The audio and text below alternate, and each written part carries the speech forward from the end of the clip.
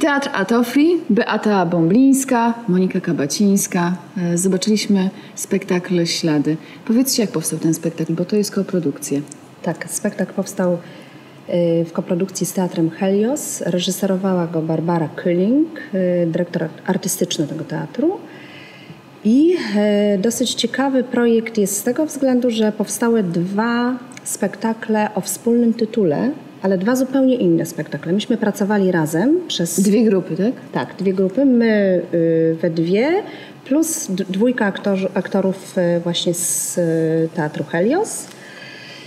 I zaczęliśmy próby razem. Pierwsze dwa tygodnie były y, wspólne, a później żeśmy się rozdzielili. I to było bardzo ciekawe, bo żeśmy zaczęli właściwie od jednego tematu. Wychodząc od jednego tematu, takie było też zamierzenie reżyserki, żeby wychodząc od jednego tematu, zobaczyć dwie produkcje o tym samym tytule, zupełnie inne. Yy, Rzeczą, która jest yy, wspólna, to jest muzyka Romana Metznera, która jest w ich wersji troszeczkę ciut inna, ale generalnie ten materiał muzyczny jest taki sam. Ślady. Dla dzieci w wieku 3-8. Ta propozycja, nie ukrywam, trochę mnie zaskoczyła, bo spotykamy się po raz trzeci na festiwalu. I do tej pory było tak, że e, w waszych spektaklach czuć było ogromny żywioł, bardzo dużo muzyki, dużo się działo, a tym razem jesteśmy na, na zupełnie innej planecie. Jest spokój, wyciszenie, jest zupełnie inny rytm. Jest muzyka, która zawsze w waszych spektaklach jest obecna i jest ważna, ale jest inaczej. Jak wam z tym? Mhm, Nam się bardzo dobrze gra ten spektakl. Yy, Ze względu na to, że on powstawał tak jak wszystkie rzeczy, które robimy, na bazie improwizacji. I on powstał na nas, na naszym Mhm. materiale, na naszych ciałach. Na waszym dzieciństwie chciałoby I na naszym patrząc dzieciństwie na zdjęcia. również, tak, tak. I y, tutaj jest y, dużo y, takich elementów, które wymaga, czy części, które wymagają od nas y, troszkę innego skupienia. I tak jak mówisz, nie, takiego, nie takiej szybkiej, rwącej akcji, y, tylko trochę więcej zadumy, ale też bardzo dużo interakcji. W tej pierwszej części głównie. Y, Natomiast w drugiej części jest więcej tańca niż to jest najwięcej tańca niż z wszystkich spektakli, które do tej pory ro, ro, zrobiłyśmy. prawda. E, Czy to jest was, wasz pierwszy spektakl dla starszych dzieci? Tak. W tej y, w, w konfiguracji teatra Tak, to znaczy w ogóle zamysł był taki, żeby zrobić spektakl dla najnajów. On też jest troszeczkę inny z tego względu, że y, no, mm, powstawał pod czujnym okiem Barbary. I jeszcze- A dotychczas myśmy robiły te spektakle same we dwie. W związku z tym ym, no, troszeczkę oczywiście no, inna jest dramaturgia, inna jest jakby w ogóle mm, inne jest y, postrzeganie też reżyserki.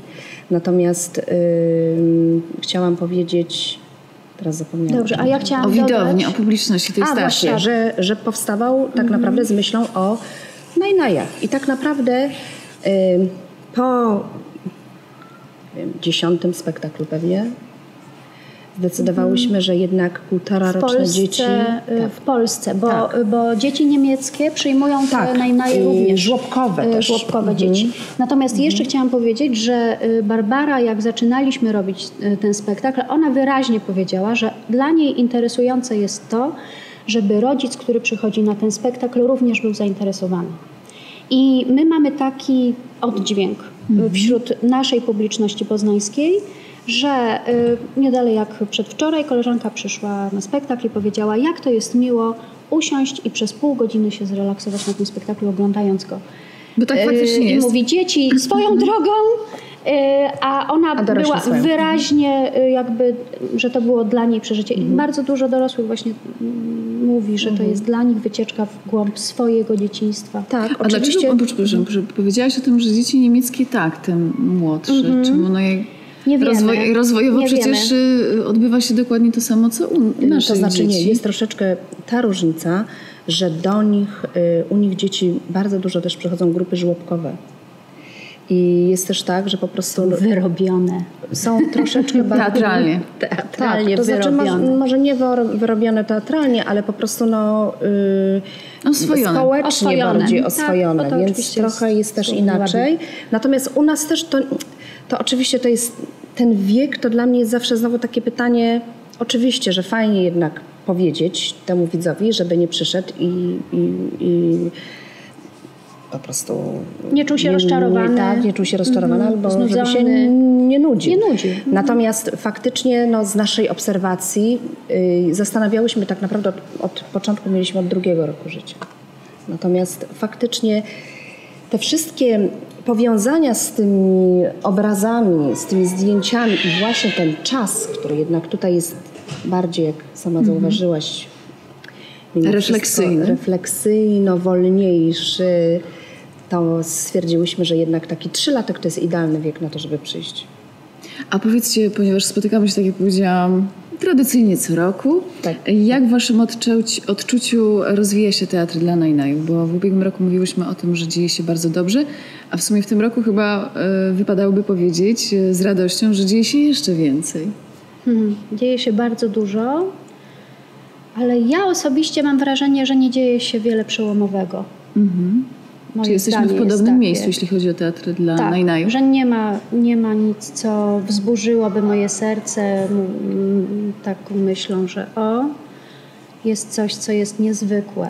Yy, Dla mnie jest, jest kilka bardzo interesujących propozycji, między innymi te działania Alicji, która, Alicji Morawskiej-Ruczak, która z mężem yy, zrobiła spektakl w Opolu.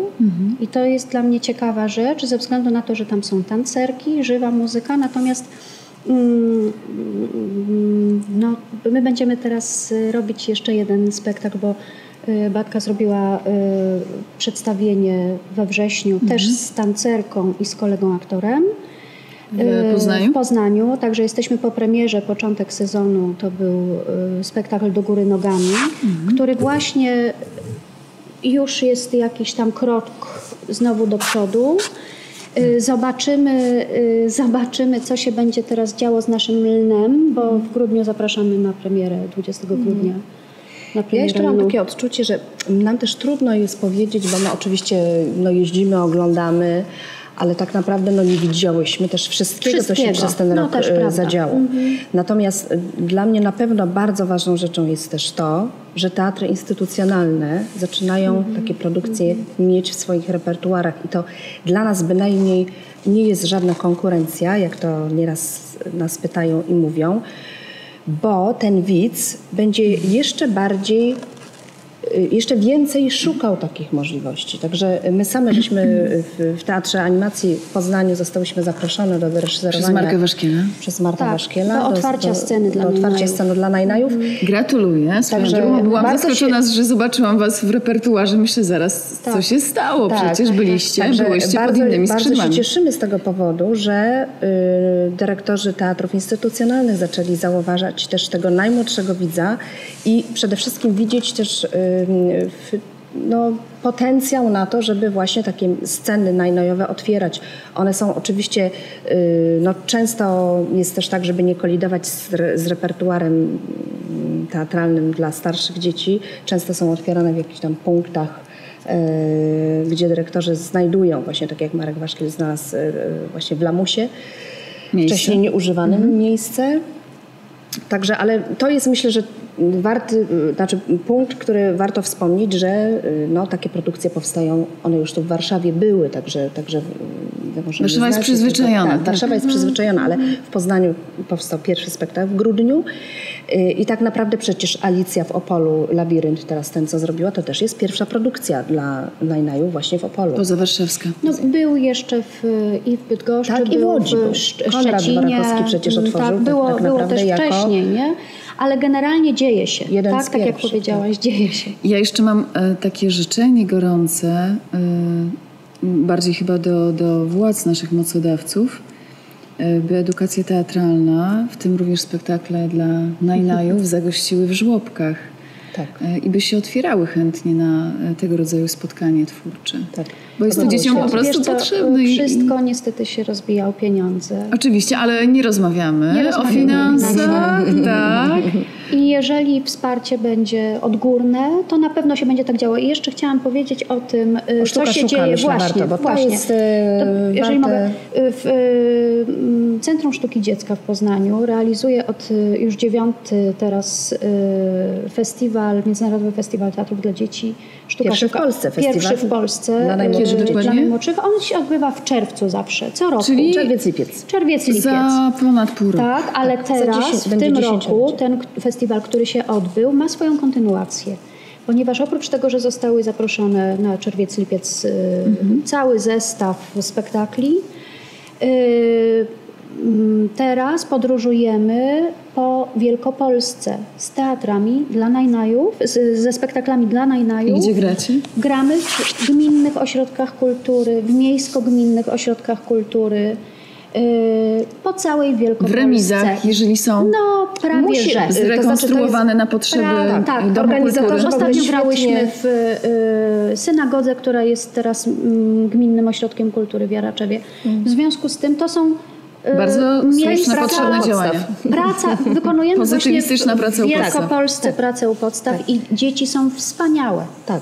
No i dzieci kochają teatr, co tu Dzieci są mówić. zaskoczone, rodzice są zaskoczeni, zaskoczeni, bo tak naprawdę no, chociażby prosta rzecz, że się, jakby y, y, ich y, widok na nas z tak bliska jest dla nich kompletnym zaskoczeniem. I y, po prostu widzimy nieraz, że oni w ogóle tak naprawdę no, Co są tak zagubieni, co się dzieje, co to będzie. Ta, takie pytania Czy są po ktoś prostu... nas przestraszy? Ale czy ta pani ma brudne nogi rozśmieszi? i tak dalej. Tak, tak, wszystko. Tak, tak. Naprawdę, także to, wiesz, jest w ogóle no, to jest cudowne, do... to jest takie dotknięcie. Yy, Tak. mm, tak jak mówisz, kaganek oświaty, tak XIX-wieczny, to po prostu Ale rozbrajamy. Jest piękne. I tą pozytywną e, puentą e, bardzo serdecznie Wam dziękuję Tak. My również za rozmowę. dziękujemy. dziękujemy serdecznie. I idziemy rozmawiać dalej przy kawie. Dokładnie. Dziękujemy serdecznie. Dziękujemy.